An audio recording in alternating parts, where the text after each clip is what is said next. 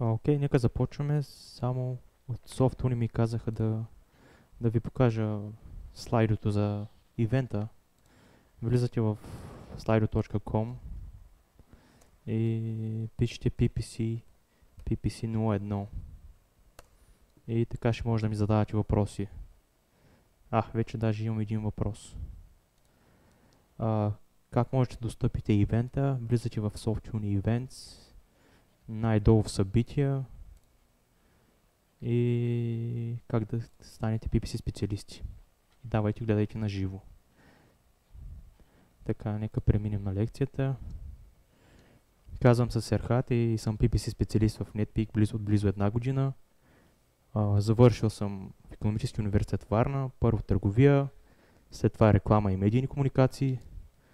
А, преди да стана PPC съм се занимавал с различни онлайн дейности, като дропшипинг, различни форми на продажби в Amazon и някои други неща. Днес ще ви разкажа за същината на моята професия, именно PPC специалист, какво представлява, как, от какви умения имате нужда, рутината на работа, как се става такъв, колко време отнема. И накрая ще ви дам някакви кариерни съвети, как да си спестите огромни главоболия и да, да запознаете с сегашното състояние на пазара и начините за реализация. Окей, нека... Ето тук е слайдото за въпроси, PPC 01. Както вече казах, можете тук да ми задавате въпроси. А, какво ще чуете за днес? Какво е PPC? Как, от, какви имате, от какви умения имате нужда? Как, как се става такъв? И някои от рутината за дневната рутина и платформи. Ще ви покажа някои платформи, с които работим. О, всъщност, да.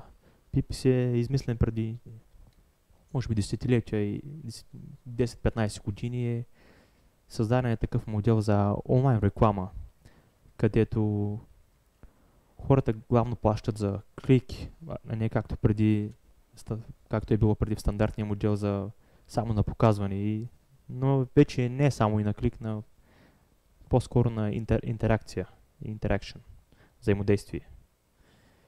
И най-големите предимства на този модел че, са, че направи възможност всеки да може да рекламира онлайн. Преди нямаш такава възможност и имаш нужда от огромни ресурси за, за реклама, билото в телевизия, вестници и други медиуми. А, а сега, сега с появата на главно на Google, хората могат да достигнат много бързо аудиторията, от която се нуждаят. И, и могат да го направят за много малко пари. Дори може да дори може да изключите хората, от които нямате нужда, тези, които не ви носят така полезна стойност. И И, и това е. А, основата, която всеки ден с, ние се сблъскаме като PPC специалисти е планирането на различни кампании и пред различни канали. Най-често в България това са Facebook и Google. Използваме понякога и, и други, но това са най-използваните от повечето агенции а не само и in-house хората също това го използват. А, как се прави това? Еми, като таргетираме различните етапи, в които се намират, различните етапи на маркетинговата фуния, в която се намират хората.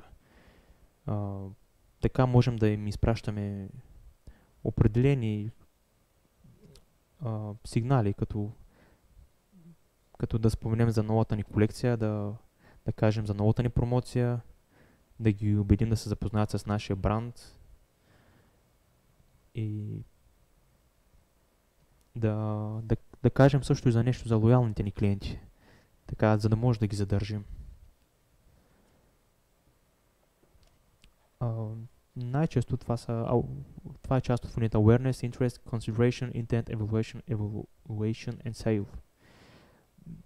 Uh, има, и, има и тази част, която още над фуния, която не съм добавил още една част от секцията, където задържаш клиентите си, но най-често в агенции като нашите това, това се прави, сел е последната точка.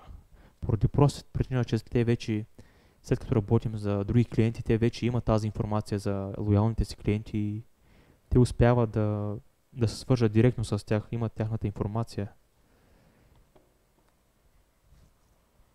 О, дай да нам F5.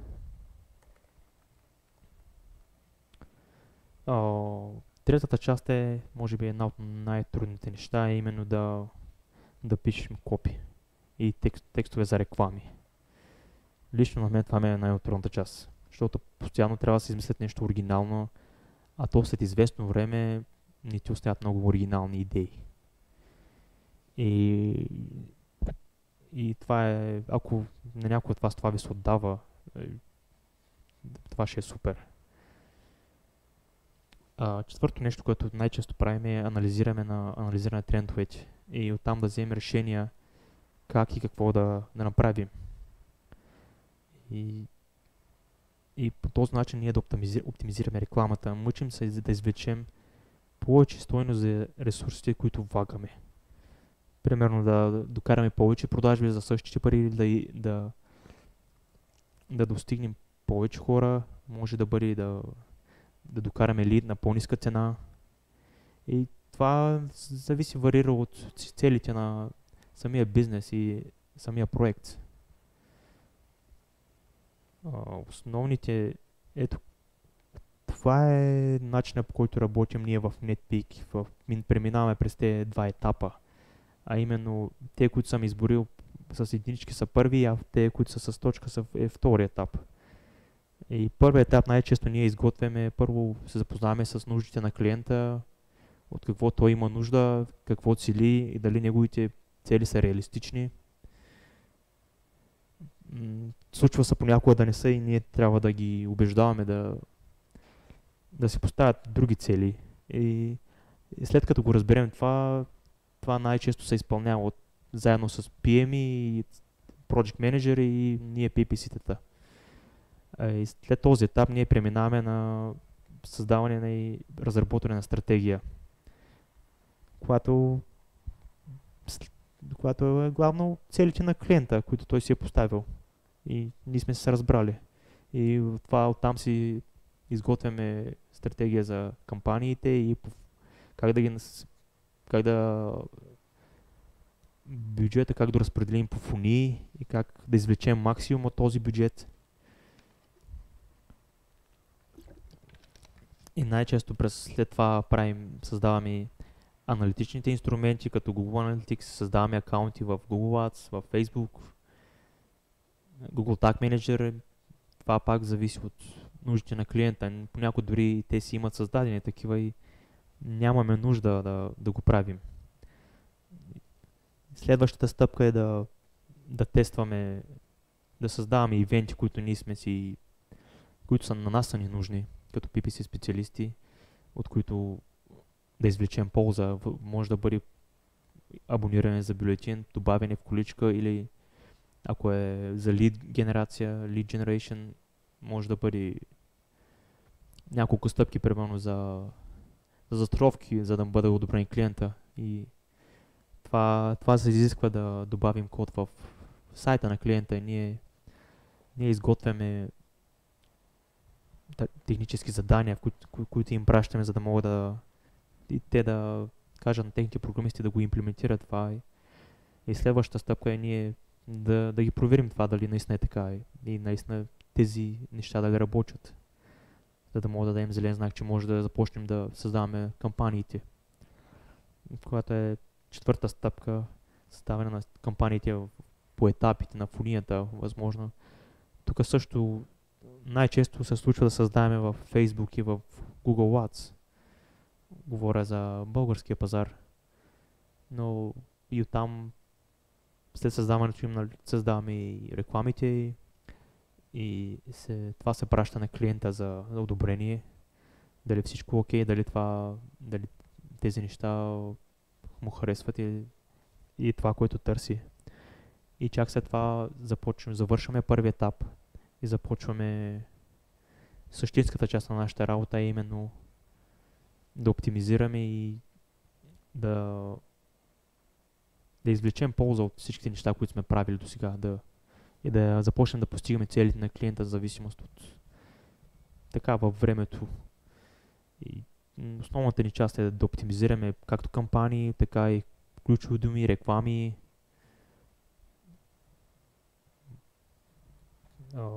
да създаваме промоционални кампании, в зависимост от клиента, ако има такива, и оттам да извлечем някаква полза,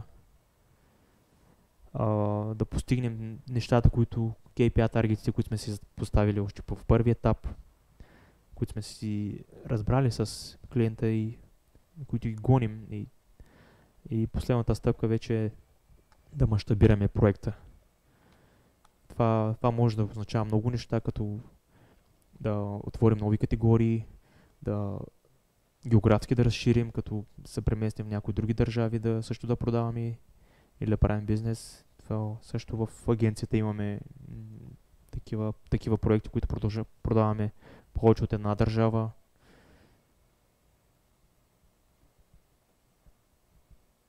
Възможно е да бъде постигане на по-голям пазарен дял.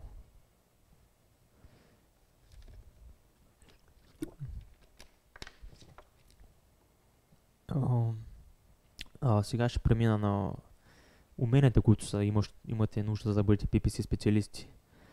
А, някои от тези умения не са много задължителни, но, но, но ако ги имате, много лесно ще се адаптирате. И е хубаво някой да ги имате. Примерно една от тях е фундаментални знания по маркетинг. Това би, би помогнало изключително много още в началото на своята кариера. Ще, ще можете много лесно да се адаптирате след това в дигиталния маркетинг. Лично аз съм завършил реклама и медийни комуникации ми беше много по-лесно да разбера самата терминология в, в бизнеса. А, хубаво е да имате аналитична мисъл, защото, защото много често ни се налага да анализираме някаква информация и на база на това да вземем някак, някакви решения. Това главно се случва в Google Анализ и дали това може да бъде дали, дали да рекламираме само на жени или само на мъже или на каква на, на каква възрастова група. Възможно е да бъде и да определена кампания, дали това води до добри резултати или не. Хубаво е да това умение доста помага. А, Третото, което е, мисля, че това е едно от задължителните неща, е, ами именно да постоянно да се учите и се развивате. Това е едно от уменията, които със сигурност трябват на един PPC специалист, поради проста причина, че при нас нещата са много динамични и се променят постоянно. И в, възможно е дори един, дори да оставите да, да не работите за един кратък период от година и половина и две и като се върнете отново да бъдете такива най-вероятно много от нещата, които сте се сте научили, няма да бъдат така, както сте ги оставили. Ще има огромни промени. Да речем, че поради някакви семейни проблеми или може да бъде от, поради майчинство да напуснете и след това ще трябва да навахате много голяма информация много голям обем от информация.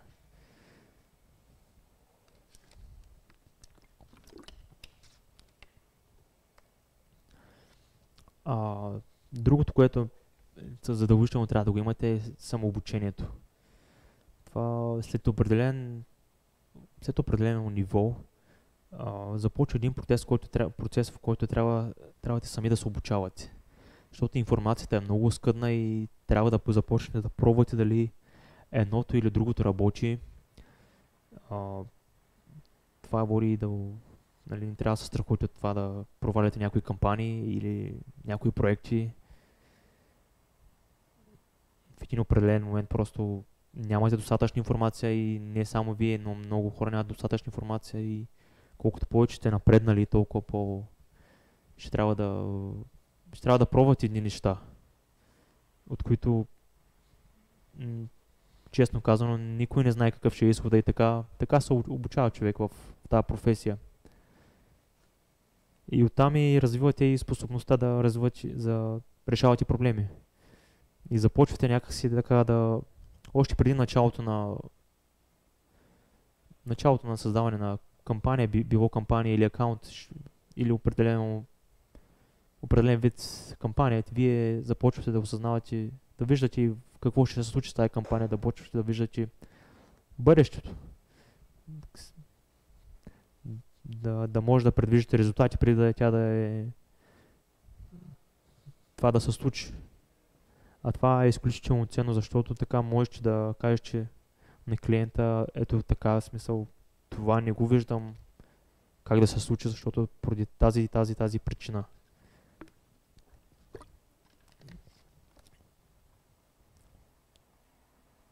А, какъв е процесът за, за ставане на PPC специалист? А, първата стъпка е, за да може да стигнете до ниво 0, така да го нарека, където трябва да знаете терминологията, някои базисни умения за маркетинг и да, да сте боравили някакси с едни тулове. Първо трябва да започнете, запишете някое обучение. И мисля, че сте на подходящо място в SoftUni, където има прекрасна програма по дигитален маркетинг, където, където аз също съм се обучавал и, и съм изключително доволен от това. С силно го препоръчвам да запишете курса. Аз лично дори вече съм PPC специалист, но все още гледам повечето курсове от софт, SoftUni, за да видя какви са новостите, какви, в друг, какви са новости в другите агенции, какво, какво са открили други колеги, дали има някакви нови промени, които, за които аз не съм чувал, не съм разбрал, или може би са пробвали нещо, което аз никой не бих си помислил да пробвам или не съм се сетил да пробвам. И, но м- дори за мен, който е вече съм пип, такъв PPC специалист, дори, дори за други колеги от агенцията, а, това носи голяма стойност. Самата тази програма и силно ви я препоръчвам. А, следващата стъпка е да си вземете сертификат. Най-често това е от Google Search, но няма да е лошо да си вземете от Analytics. Това е силно оценено от всички в нашия бранш и показва наистина едно голямо желание за развитие, защото тези сертификати не са лесни за изкарване и доста обучение, трябва доста обучение, особено за, особено за Google Analytics. Лично аз няколко пъти съм се провалял преди да го изкарам. Може би два-три пъти. А, също за Google Search трябва, ако го изкарате, ще бъде огромна полза за вас. Особено при намирането на стаж или работа, ще, ще ви улесни много живота. Да. А, намиране на намиране на работа или стаж.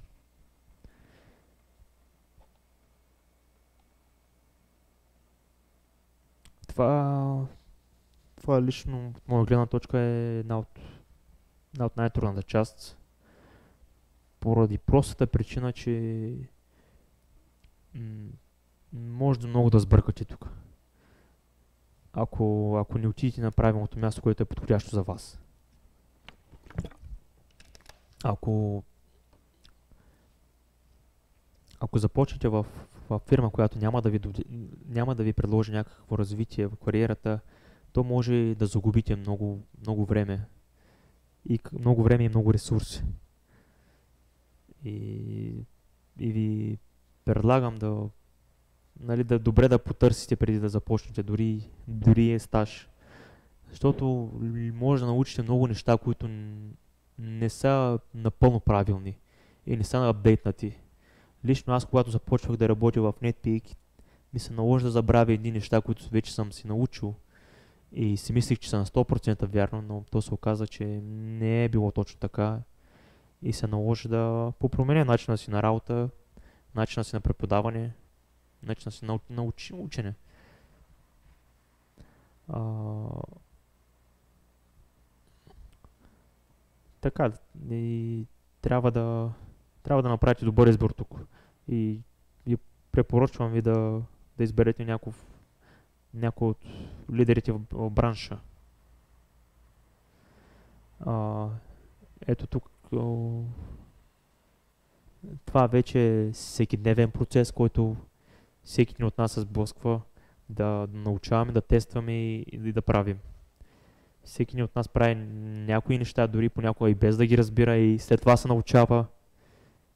Нали, всяка, всяка една от тези възможности е напълно нормално. Първо да се научиш, после да тестваш и накрая да правиш, както и първо да направиш, после да научиш, после да тестваш. И това е част от нашето, нашето всекидневие. Ние много често, когато има някакви апдейт от страна на Google и на, или на Facebook, ние дори никой не е наясно с това какво ще се случи. Какъв резултат ще извлечем от тази история и най-често случва първо да направим, после да научим. И това, нали, това не, не, не трябва да наплашиш. След известно време вече разбирах, че някои неща се случват наистина така. Но това те кара да да бъдеш най-отпред, да бъдеш лидер в бранша. Ще... Искам само да видя как, дали има вече въпроси в слайдо.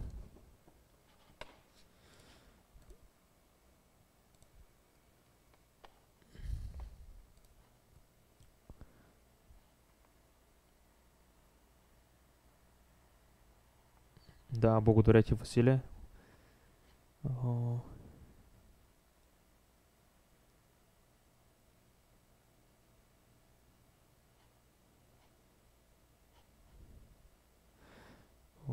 да, Евгений Сандев, това, това ще го запазя за края на лекцията, ще ви дам съвети. Това заплатата също. Кои са, да, този е интересен въпрос. Кои са KPI таргети, които най-често се следят? Ами, това много зависи от, от самия бизнес. Възможно е да бъде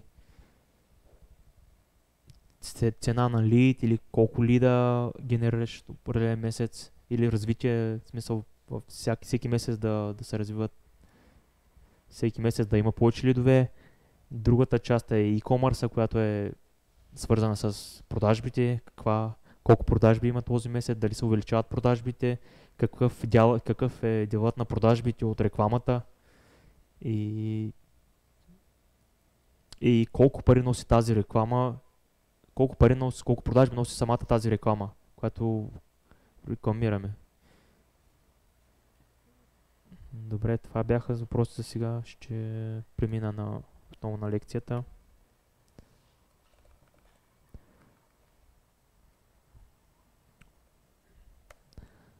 Да, колко време отнема за да бъдете PPC специалисти?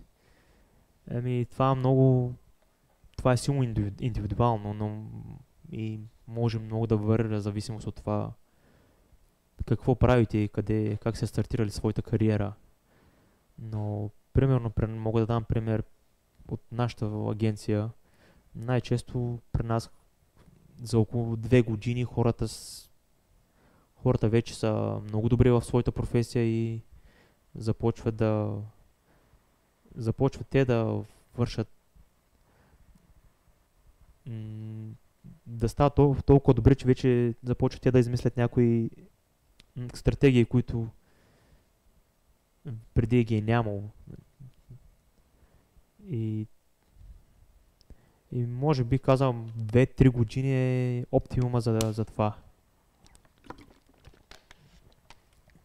Но пак казвам, зависи от това какво, с какво се занимавате. Да, също ние, ние се сблъскаме с разнообразни проекти в различни ниши. А, човек, който е в който, който е инхаус, няма как да, да, да добие този опит. То, той се занимава само с един определен бранд и една определена ниша. Затова това силно варира, но, но бих казал 2-3 години са предостатъчни. Е, това са някои от дневните задължения, които ние изпълняваме.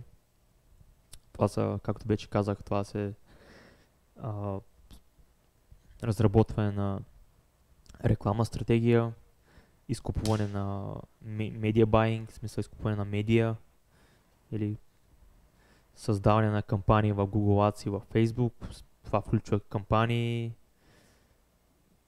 реклами, екстеншени, създаване на а, измерване на конверсии, което възможно е да бъде лид, възможно е да бъде продажба, а, измерване на резултати от тези кампании, оптимизиране на кампаниите и тестване на модерация, правене на модерация на ключови, ключови думи, работа с аудитории. Това е едно от най-интересните неща, които правим, защото този, тази опция е много така разнообразна, особено когато се отнася за Facebook рекламата. Ние там главно таргетираме на аудитории, където се налага да измисляш всеки ден на някакви нови, да дефинираш нови аудитории, които, които да таргетираш.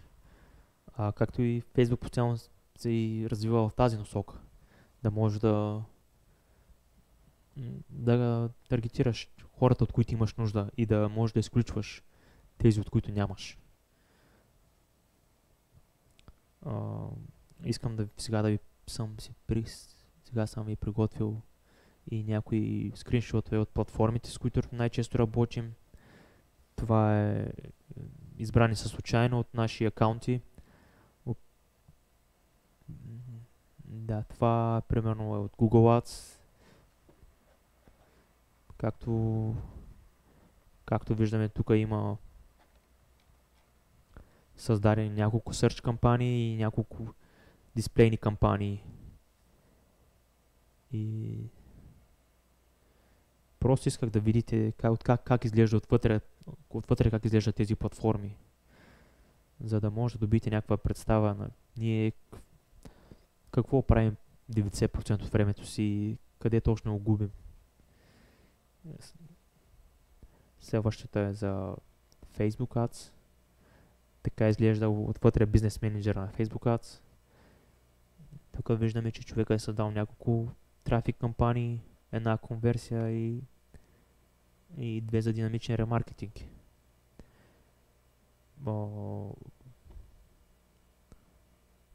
И третата най-често използвана платформа от нас е Google Analytics, която анализираме нещата, които са случили на, на сайта ни. Тук се отчита всичко, което се случва на сайта, откъде, откъде идва трафика, откъде идват поръчките, запитванията. Примерно тук виждаме, че голяма част от трафика на този сайт идва от орган, органично, органично идва и, и от Google реклама. И но като съм дал такъв голям таргет, виждаме, че най-добре конвертира Google рекламата. Може да видите на, на полето ROAS. О, добре.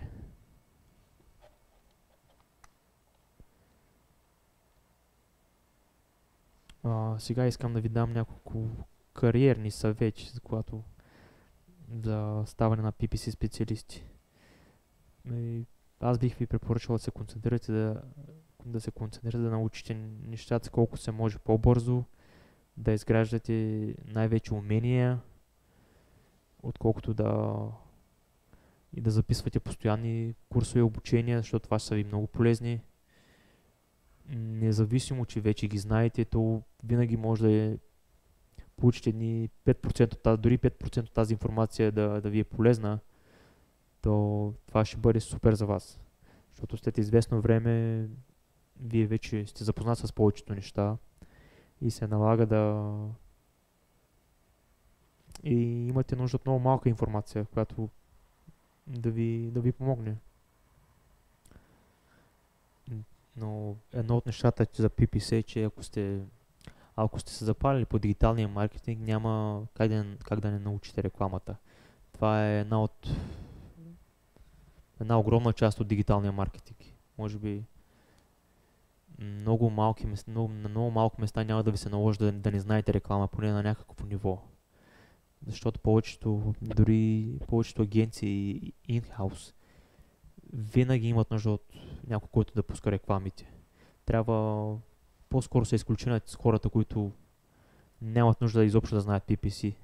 А най-често се налага да малко или много да можете да влизате в платформите, да, да сте разцикали по няколко пъти, да знаете как се пускат.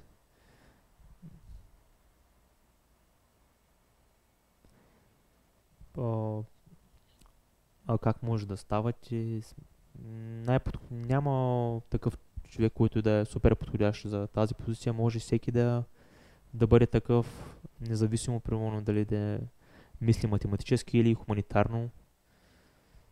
Може да може всеки един да стане само има нужда от постоянно обучение, защото това се налага с, може би през месеци или между 6 месеца и една година се променят постоянно нещата в, в нашата сфера.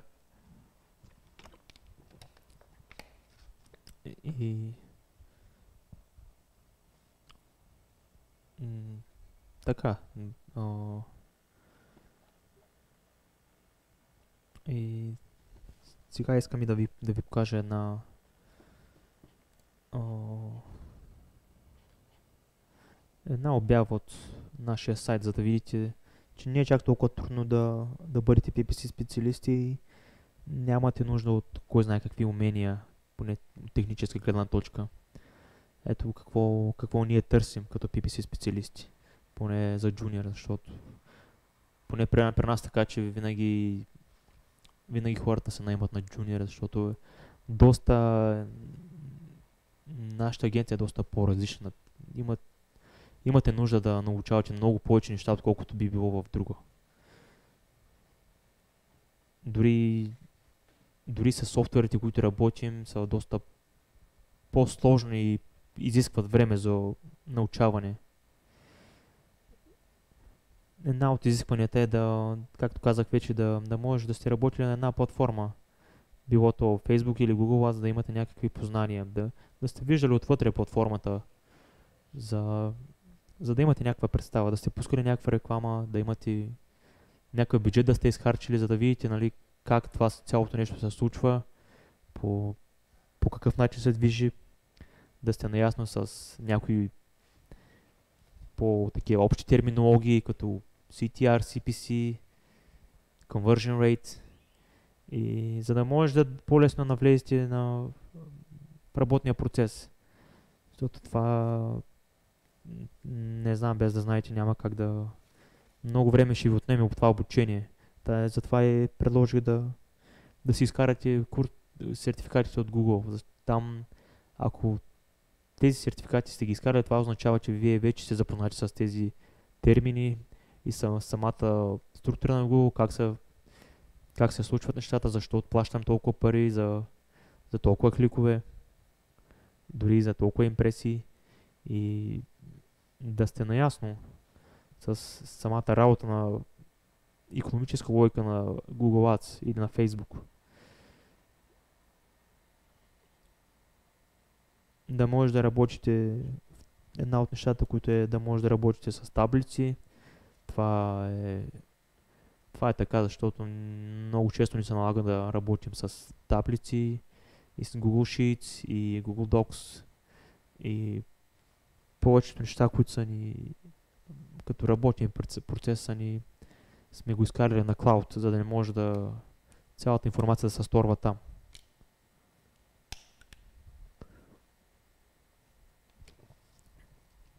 И също се изисква и да, да знаете и малко английски, защото ние не малко, имаме не малко чужди проекти в, в чужди държави, където трябва да поне да го разбирате от друга гледна точка, цялата информация, която ние получаваме като PPC специалисти, цялата така, тази свежа информация идва на английски язик. И вие, ако не знаете английски язик, много трудно ще се адаптирате в ситуацията и много късно ще идва информацията при вас. На, затова се налага да, да знаете, ако знаете колко се по-добре, по-добре знаете английски, толкова по-добре, защото всичките ни обучения, които идват от Google и от Facebook, те също са на английски и трябва поне някакво ниво да знаете, за да разбирате какво ви се говори за, и да научавате всички тези новости, за да, ги, за да може да ги предлагате.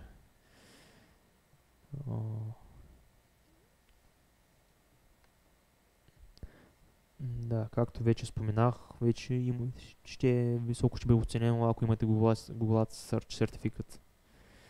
А, а, част от личните качества, това може би не само при нас, но също се изисква и на други места, защото просто самообучението, примерно е вече, както вече го споменах, това е част от професията. Нямате, нямате избор да, да не се случва това.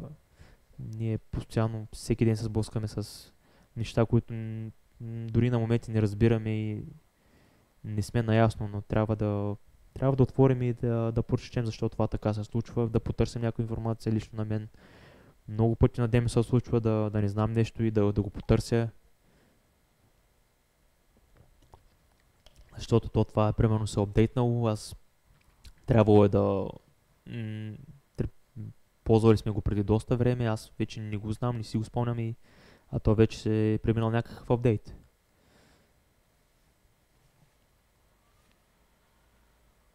И едно от уменията, които поне при нас е, при нас трябва да имате, че трябва да, трябва да сте отговорен. Това е едно от най- така ценните умения при нас, защото никой не те следи какво правиш и с какво се занимаваш. Те те оставят да, да работиш и ти трябва да си свършиш работа. То нямаш няма да стои някой на твоята глава, за да, да ти свършиш работа, ти трябва да проявиш инициатива и да я свършиш тази работа, без да, без да има някаква чужда мотивация. Трябва вътрешно ти да се мотивираш да свършиш тази работа по най-добрия начин. А,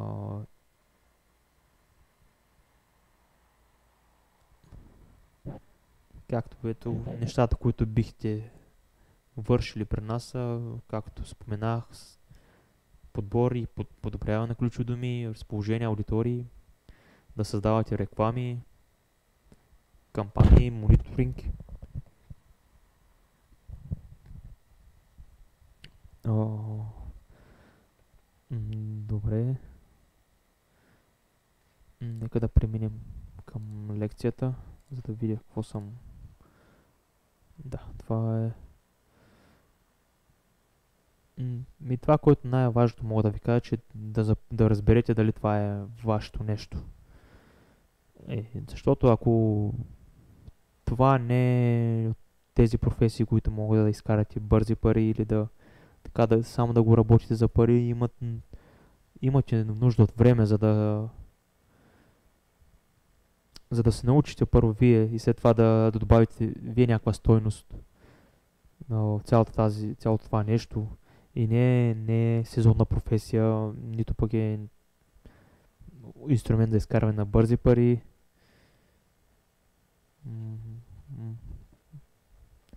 Сега ще видя и въпросите в слайдо. Нека да го рефрешна.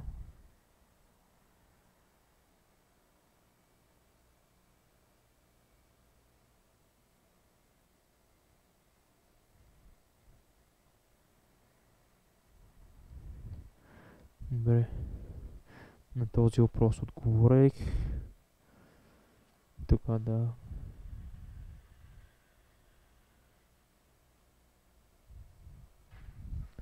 А, кога разбираме, че е нужно да се промени стратегия за бит?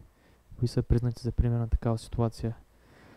А, всъщност ние от доста време вече започнахме, спряхме да го правим това корекции на бидове, защото а, по последни данни на Google, може би тези, които са от година и година и половина, всички са, всичко заводи към автоматична стратегия и то машините сами си определят бидовете. Няма нужда ние да така ръчно дърварската да определяме бидовете всеки ден. Ние единственото, което трябва да направим е да изберем правилната стратегия за, за кампанията, понякога за акаунта, за да може то да си върши работа и ние да, да даваме на машин learning да, да се научава колко се може по-бързо това е една от основните ни цели в, поне ние в агенцията, да, да можем да накараме машините да се учат колко се може по-бързо. Защото това е един ресурс, който ние трябва да използваме постоянно. Те, те са много по-умни от нас и много по- повече разбират самата работа, как, как всичко това се случва. И ние единственото, което трябва да направим е да им дадем достатъчна и правилна информация. Защото ако им дадем грешна информация, ние ги научаваме по грешен начин. И те след като се научат по грешен начин, те, те ви носят грешен резултат. Ако, ако сте им дали грешен таргет, то, то няма как вие да получите добри резултати. Но, но така, ние работим главно с автоматични стратегии, които сами се определят бидовете, в зависимост от това кой е човека на среща, с, с кого бидваме. Ако е правилният човек, той ще бидне достатъчно, ще, ще бидне достатъчно високо, за да може да привлече този човек, като разбере, че той може да конвертира и да донесе продажба на нас, а няма да, като види, че няма човека, който е на среща, няма стойност човека, който прави търсенето или в Google Display, той ще разбере, че няма този човек стойност и няма да изобщо да му показва рекламата. А вместо, вместо както е било преди, само да така само си бидвате някакъв бит и то тази реклама постоянно се показва. Сега, сега вече тези неща са устарели, ние не работим по този модел. Постоянно това машин learning постоянно то само избира на кого да показва тази реклама и на кого не. За да може да ни харчи едни пари така на, на хора, които просто си кликат и без да влизат. Дори, дори на това се отнася за ботовете. Когато влизат ботовете и кликат, вие не печелите нищо от това, но по това така машината разбира, че това е бот и изобщо не му показва рекламата.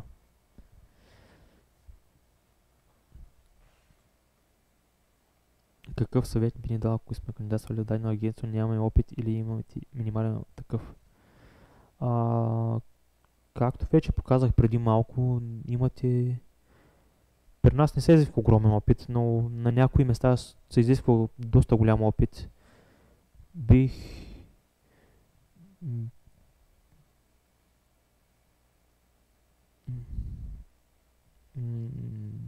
Бих ви препоръчал нали, да, да гледате обучение или да намерите някакъв начин да, да добиете този опит. Защото няма как да, да добиете този опит само с обучение. За съжаление нямаме, нямаме, това не може да се случи при нас, поне в нашата професия. Имате нужда от да го практикувате, то, то е като занаят. Ако не, не го практикувате, ня, дори да имате теоретичната информация, вие като не сте го виждали на живо, не е също както е на теория вие ще се изненадате, че това, което искате да се случи, че няма да се случи. И препоръчвам, нали, дори да е някакъв стаж да запишете, дори и след това да започне тази агенция. Но хубавото е да се изгради някакъв кариерен план и да можете да имате определена агенция или агенции като цел, където да работите. И така ще можете да много лесно да филтрирате тези, които не ви харесват. Дори, дори да започнете някъде, вие след време ще може да ще може да свичнете към тази агенция, която ви на, но най... Това, което трябва да направите първо, да си първо да отбележите кои са, кои са добрите места, които искате да работите или за цените за вас. Вие може да искате да работите за такива, които са само оперират България, които искате на българския пазар да работите, да работите с големите брандове или да сте някаква, да работите в бутикова агенция, която управлявате малко на брой, но много се концентрирате в различните неща. Също така можете да изберете такава, която е изцяло опера на чуждия пазар, било то англоязичен или друг. но това ми е съвета като цяло да, за, да някак се да, добиете този опит. По един или по друг начин, дори може, дори да започнете някъде на стаж, така ще можете поне да изхарчите някакви пари от, от бюджета на клиента и, и така ще, ще се здобите с опит, който е много ценен. А, добре, ще премина на другия въпрос. А, статията ми в блога, все още нямам публикувана статия, но скоро очаквам да я публикуват. Тя ще бъде на Става въпрос за генериране на лидове чрез Facebook, директно от Facebook, без посещаване на страни, страницата ви.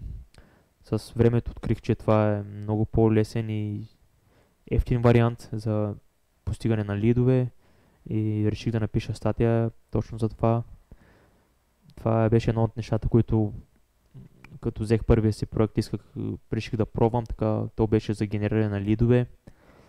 И се опитах да пробвам всичко, което мога да, може да ми свърши някаква работа, дори, дори да, да се окажат някакви грешки по, по пътя, но в крайна сметка поне ще, ще добия някакъв опит, който да също не е само да помагам на себе си, но колегите да мога да по този начин да помогна да кажа това работи, пробвал съм го. И най-хубавото, едно от най-хубавите неща в наш агенции като нашите е, че ние работим с много проекти и сме много, много хора и така можем да споделяме опит кое работи и кое не. И най-често това, това много ни помага в вземането на решение.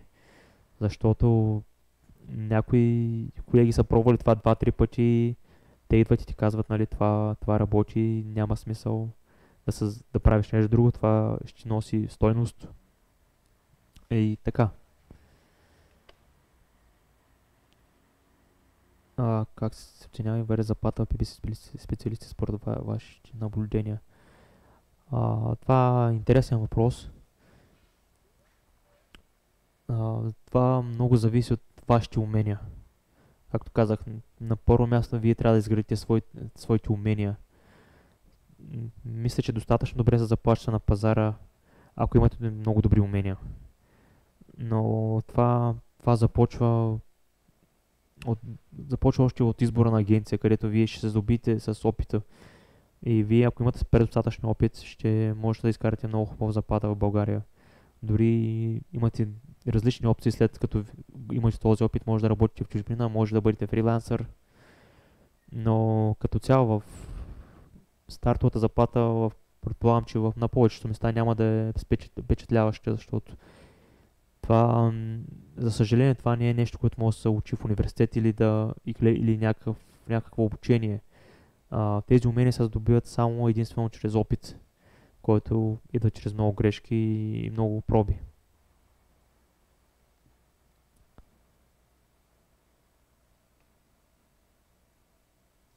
А, като си говорим само за Google или, или, или Facebook, също и сам ли си а, това е интересен въпрос.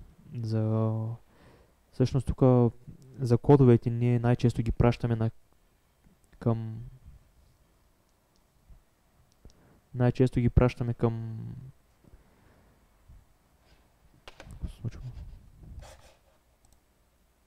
Добре. А, да, съжалявам. А, като PPC специалисти ние най-често пращаме тези кодове на програмистите на клиента, за да могат те да го имплементират. И, но ако, ако се наложи, понякога ние също го правим това през различни софтуери, като GTM. Най-често това използваме, GTM, Google Tag Manager. Това е, това е платформа, която ни позволява да, да работим по, по кодовете на клиента, без дори да достъпваме техния вебсайт. И така можем сами да си определим събитията, които ни трябват и, и по този начин много лесна става проверката и самия процес много се скъсява. Ако, ако не са неща, които са генерални, това е един от добрите начини за работа по, по проекта. Да си имплементираш свои, собствените кодове и така, когато приключи проекта или клиента иска да си тръгне, можеш да, да махнеш тези кодове и да и така да, да си спестите доста усилия. А, с какви... Тук само не съм пропуснал някой въпрос.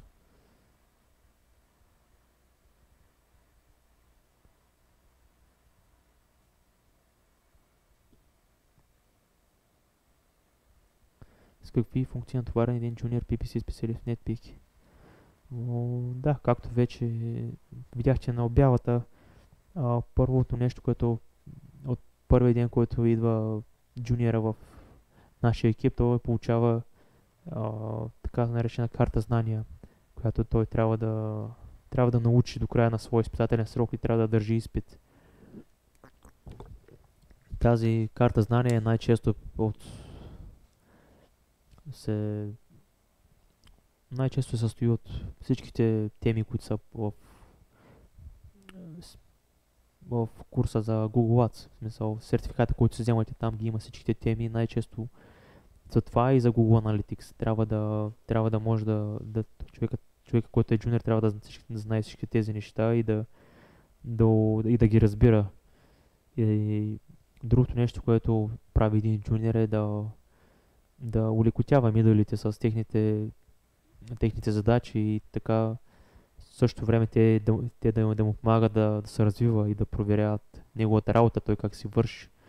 Това най-често е работа състои в събиране на ключови думи, а, създаване на реклами, а, модерация, на, модерация на минус думи и създаване на кампании, а, възможно е да бъде създаване също на смисъл имплементиране на кодове, ако човек е достатъчно добър и иска да се пробва.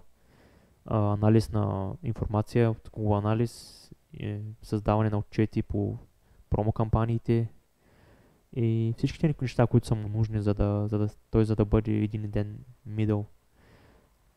И така той, се, той започва да научава всички тези неща ден по ден.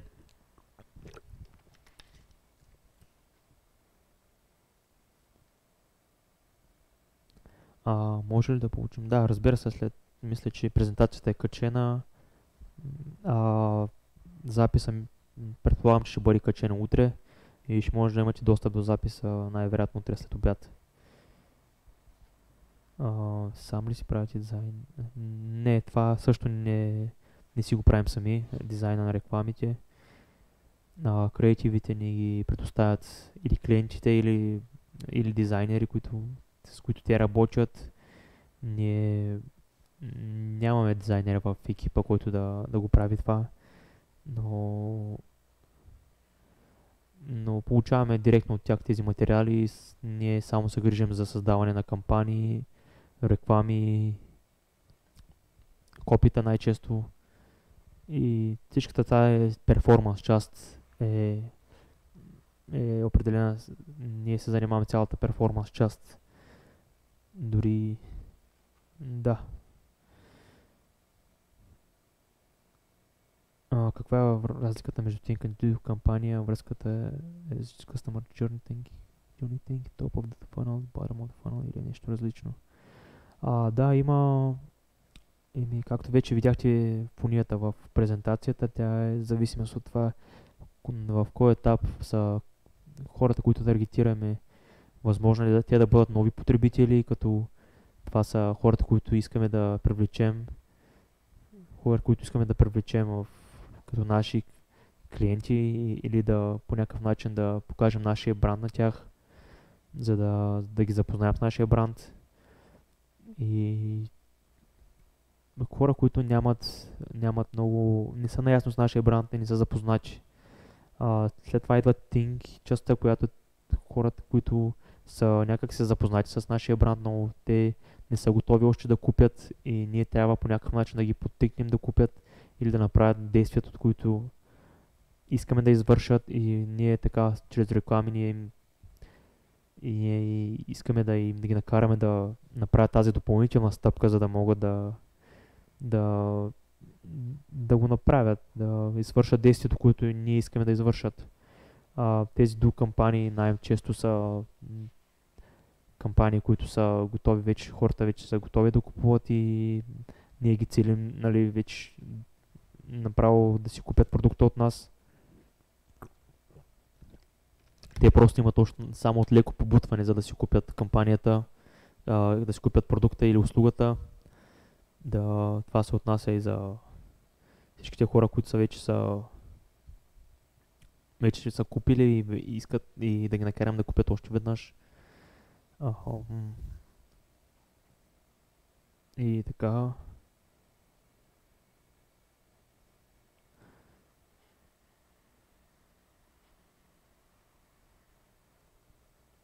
Умения. Ево. След колко време джуниор може да стане мидъл, ако се развие с нормално темпо. А, това, това е доста индивидуален въпрос, мисъл, в зависимост от това колко си добър в това, което правиш и как се развиваш, но, но това зависи от множество фактори, като, като част от този фактор е късмет даже. Не имаш нужда доза късмет, за да попаднеш на точните проекти, за да, да се научиш още по-бързо, отколкото е необходимо. Но за да станеш мидъл, единственото, което е, трябва да имаш достатъчно умение да, и да ги покажеш в... Да, да, да, с изпит да можеш да ги докажеш. Всичките тези умения да, да можеш да свършиш да може вече да си имал доста опит в различни проекти, в разнообразни категории, ниши и така да можеш да, да показваш някакви умения. А, мисля, че не ми остана въпрос, на който трябва да отговарям. Само да проверя.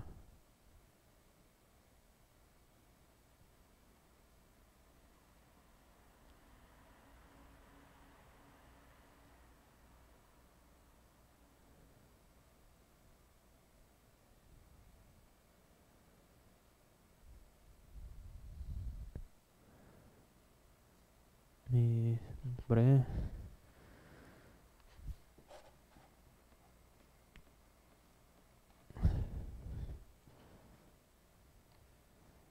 Еми... Мисля, че приключихме въпросите. А, окей. Много, много ви благодаря. Мисля, че за днес това беше от мен. Ако имате допълнителни въпроси, мога да ви, мога да, аз да ви отговоря или ако е свързано с, а, с, а, с софтуер или с тяхно, тяхен техен семинар или обучение, може направо на тях да пишете или може да също така и в слайдо и аз ще пренасоча въпроса към тях. А, благодаря, хубава вечер.